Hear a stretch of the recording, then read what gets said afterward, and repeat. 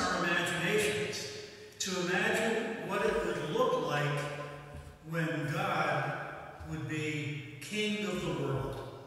That's basically what they were talking about. Jesus himself, in his mission on earth, proclaimed the kingdom of God.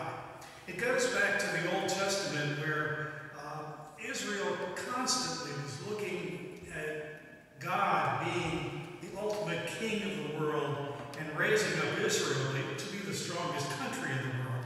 So this kingdom of God imagery uh, is supposed to be part of our, our Christian imagination. Now all music, the visual arts, uh, narratives such as uh, literature, Bibles, um, storybooks, novels, they're all primary means of stimulating the imagination. And what we're talking about with church, church music, uh, statues, candles, holy pictures, and our narratives, our Bible, uh, the scriptures that we read, the lives of the saints, uh, they're all primary means of stimulating our imaginations. Now, since Pope Paul VI and his uh, uh, landmark uh, exhortation, Evangelii Nuntiandi, much has been written about Catholic evangelization. Today's reorganization of dioceses around the country into pastorates and the new catechetical director, which just came out, uh, they all address the institutional church's methodologies for creating missionary disciples. But what I'd like to do today on this image imagination uh, topic is to uh, kind of give you some thoughts for the Advent Christmas season and how we might evangelize. And this particular year, because of the COVID virus, it is extremely important, I think, for us to use our imaginations and to think about what we're going to do during this Advent and Christmas season. Because let's face it, churches may be locked down again by Christmas time, or they may be reduced in the number of people that will be able to attend a religious service. And so, how do we keep the Christmas and Advent season going in our imagery, in our minds, and in our imaginations? Well, I'd like to talk first about perhaps the nativity scene. Now, I've been here at Our Lady of Mount Carmel for a year, and last Christmas season, I really pushed the idea of everyone getting uh, on board with a nativity scene on their front yard. Now, one of the reasons for this, let's talk a little bit about uh, St. Francis. You know, St. Francis of Assisi is the one who actually invented this whole idea of having a creche scene or a nativity scene.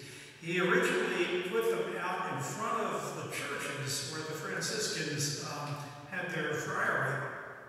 And he put them outside, hoping that as passersby would, would walk by, they'd see this nativity scene.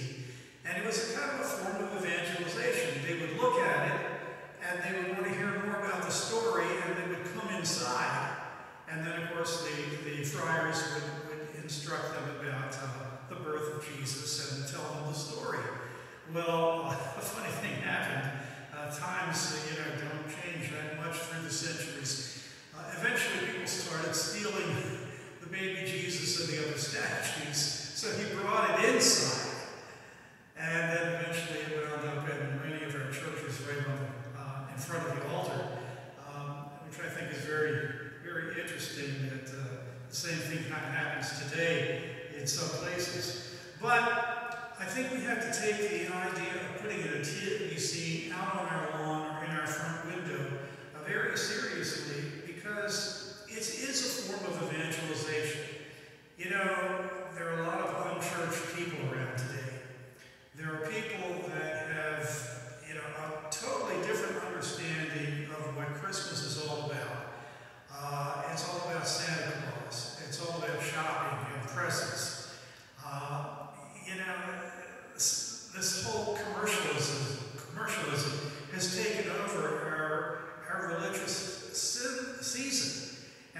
think we need to, to reimagine how Christmas and the Christmas season should be. So I would suggest to you that, you know, you get one of these inexpensive silhouette manger scenes. and it's kind of a cutout in wood, and you set them up, and it's an outline of Jesus, Mary, Joseph, and the, the stable, and the crib.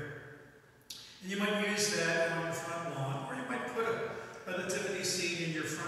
as passersby could see it. Now, another idea for this uh, Christmas season might be um, the Advent wreath.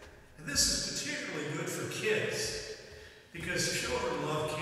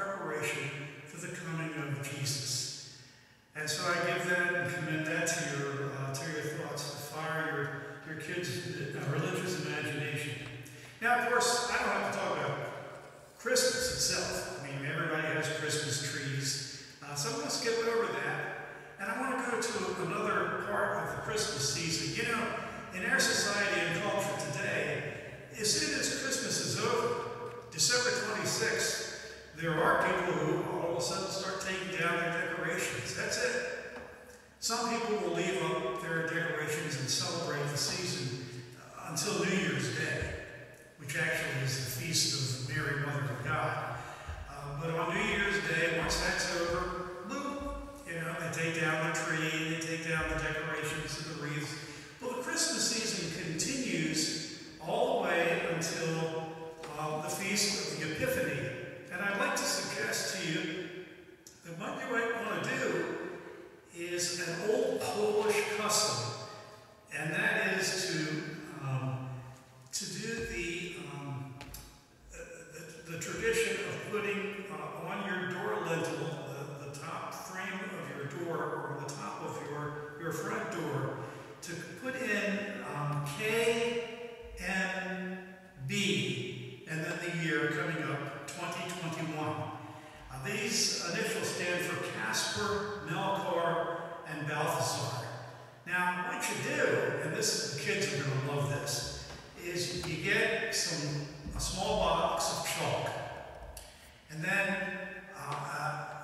doesn't have to be real. I don't want you to go for a big expense, but a, a gold ring or a little piece of gold, some incense, and perhaps a piece of amber. And these represent the gold, frankincense, and myrrh. You light the incense, it begins to kind of make a nice fragrant smell in the house. And then you go over to your front door and you put K or C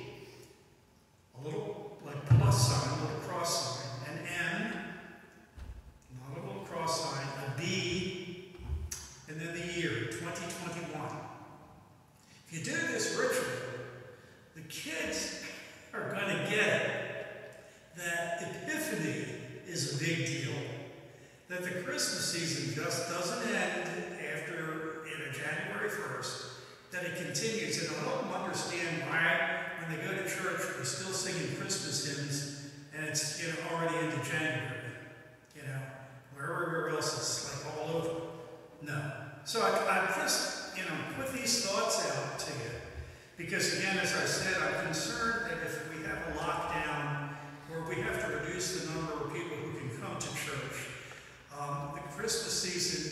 kind of going to be enough of a downer for folks.